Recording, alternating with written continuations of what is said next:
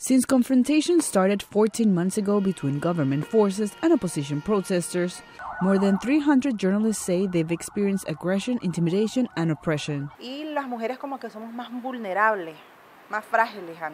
Women are more vulnerable. People use social media to threaten them through Facebook.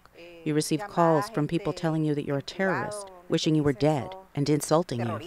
A recent report by Nicaragua's Violeta Chamorro Foundation says a growing number of female journalists have been the target with aggressions and threats by state officials. The study also says authorities have defamed them in an attempt to discredit their work. Geraldine Dominguez is an Acción 10 reporter in Nicaragua. You can't avoid telling the truth because people are not stupid. People know what is going on.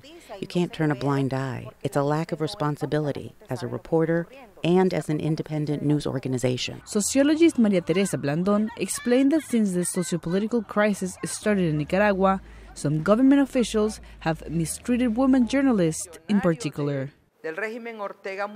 Government officials often disrespect women journalists through gestures and openly making macho comments.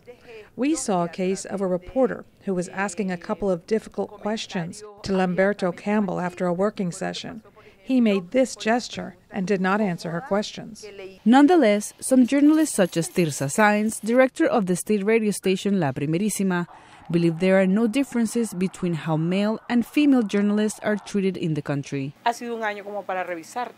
Journalists in Nicaragua have had to review their work in the last year. Journalists are more biased, and that incites violence.